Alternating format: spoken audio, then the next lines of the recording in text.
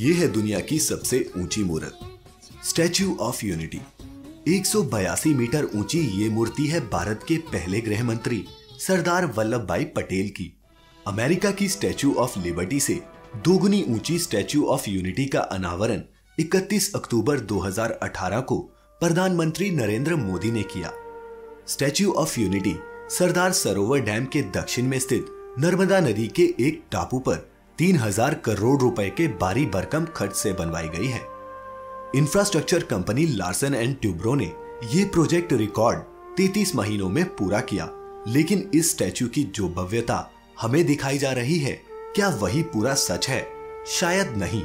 तीन हज़ार करोड़ की इतनी बड़ी रकम जो इस मूर्ति को बनाने में खर्च की गई, अगर जरूरतमंदों की मदद में दी जाती तो कई जिंदगियाँ बदल सकती थी। क्या खुद सरदार पटेल ऐसी मूर्ति बनाने की इजाज़त देते शायद नहीं।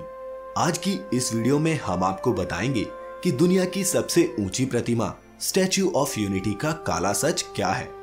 किसी भी राय को बनाने से पहले इस वीडियो को अंत तक ज़रूर देखें। द मिस्टिका लैंड पर आप सभी का एक बार फिर से स्वागत है।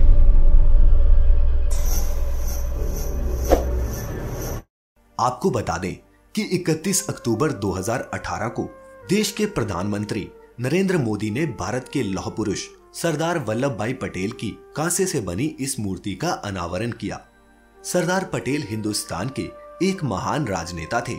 उन्होंने आज़ादी के बाद कई रियासतों को भारत में मिलाने के लिए अहम कदम उठाए थे और इसलिए इस प्रतिमा का नाम भी स्टैच्यू ऑफ़ यूनिटी यानी कि एकता की मूर्त रखा गया।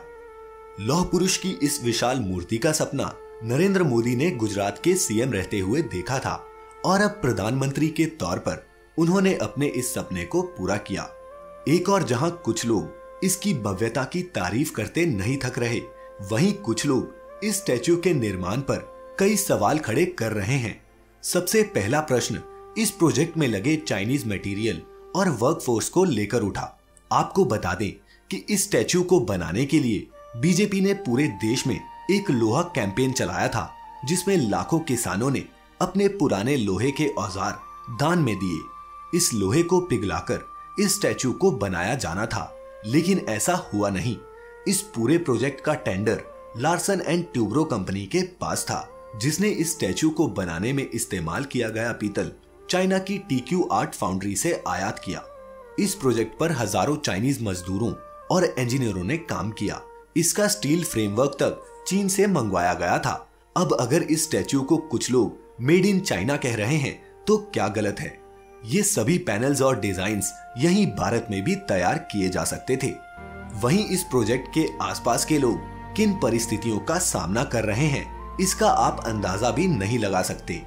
सबसे ज़्यादा नुकसान उन किसानों का हुआ है, जो नर्मदा नदी के किनारे तो रह रहे हैं, लेकिन अपने खेतों में पानी के लिए तरस रहे हैं। सरदार सरोवर के 9 किलोमीटर के दायरे में आमदला, बाद्रवा और संद्रोली जैसे गाँव हैं। इनमें जो नहरें बनी हैं, वो बेहद कमज़ोर हैं। नर्मदा का पानी गुजरात के दूर दराज इलाकों में तो पहुँच रहा है, लेकिन यहाँ नहीं पहुँचता इस मूर्ति के आसपास 20 गाँव ऐसे हैं, यहाँ लोगों को पानी जैसी बुनियादी ज़रूरत के लिए भी मशक्कत करनी पड़ती है इस प्रोजेक्ट से बहत्तर गाँव के लगभग पचहत्तर हज़ार लोग प्रभावित हुए हैं इस प्रोजेक्ट में जिन किसानों की जमीनें ली गई, उन्हें अभी तक उसका मुआवजा भी नहीं दिया गया है। एक रिपोर्ट के मुताबिक, नर्मदा डिस्ट्रिक्ट में आदिवासियों की उच्च शिक्षा का स्तर गुजरात में सबसे कम है। यहाँ सिर्फ़ पाँच प्रतिशत युवा ही उच्च शिक्षा प्राप्त कर पाते हैं।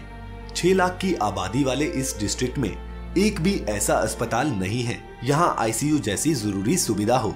यहाँ की पचासी प्रतिशत महिलाएँ कुपोषण की शिकार हैं। यहाँ के आदिवासी इतने गरीब हैं कि उनके पास शरीर ढकने के लिए कपड़ा और रहने के लिए पक्का घर तक नहीं है। इसी प्रोजेक्ट के हिस्से में बने बाँध से तड़वी जनजाति के कई गाँव जलमग्न होने की कगार पर हैं। इतना ही नहीं, जम्बूगोड़ा के नारूकोट के आठ गाँव वहाँ रिजॉर्ट बनाने के लिए खाली करवा दिए गए। रिहेबिलिटेशन पैकेज के मुताबिक ज़मीन या पैसे भी हिसाब से नहीं दिए गए। स्थानीय निवासियों ने कई बार प्रदर्शन कर अपना रोष भी व्यक्त किया, लेकिन सुनने वालों की बहुत कमी है। विस्थापितों की रोजी रोटी छिन गई, घर खेत सब चला गया। सरकारी मुआवजे से ज़िंदगी कट जाएगी, ऐसा लगता नहीं।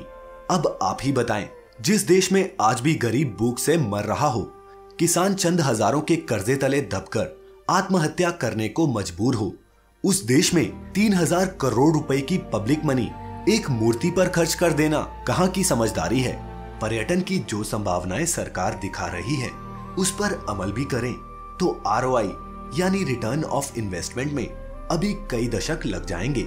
ये कैसा विकास मॉडल है कि एक मूर्ति के नाम पर हज़ारों करोड़ खर्च कर दिए जाएँ, वो भी तब जब खुद के अपने लोग रोटी कपड़ा और मकान के लिए तरस रहे हों। सरदार पटेल जीवित होते तो उन्हें ये कभी मंजूर ना होता। तीन हज़ार करोड़ से कितने हॉस्पिटल कितने स्कूल और कितनी बुनियादी सुविधाएँ हम यहाँ पहुँचा सकते थे, इसका अंदाज़ा लगाया जा सकता है।